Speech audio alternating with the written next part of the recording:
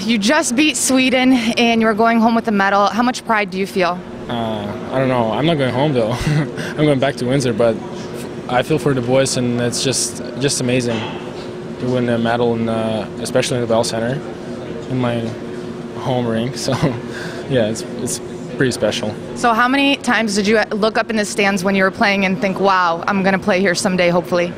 I don't know. Like I didn't think about it yet because I played for Team Russia and uh, I played a tournament like World Championship, and I didn't think about NHL. So.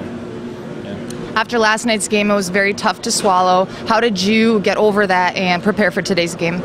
Like we stopped thinking about it like after maybe an hour after the game, and uh, we just took some rest, slept, slept well, and uh, went on the ice. Yeah.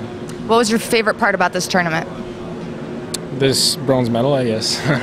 And that goal Gurianov scored, and uh, I just want to thank the boys for like amazing, amazing tournament like we didn't play as a team like in first in first first games, uh, and now we become a team, and it's just amazing. So, just thank to the boys and coaches and uh, and I don't know, our goalie was just outstanding. So, Samsonov is NHLer. We'll see him here soon, right? Oh yeah, oh yeah.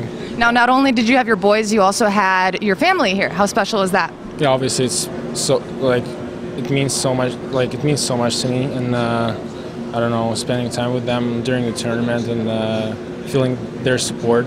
So it's just amazing. Do you have any shout outs back home to Windsor? Uh, I don't know. like the boys from Windsor are, were cheering for me, and against when we played against States, they texted me and stuff. So just thank to them too for support. Awesome. Congratulations.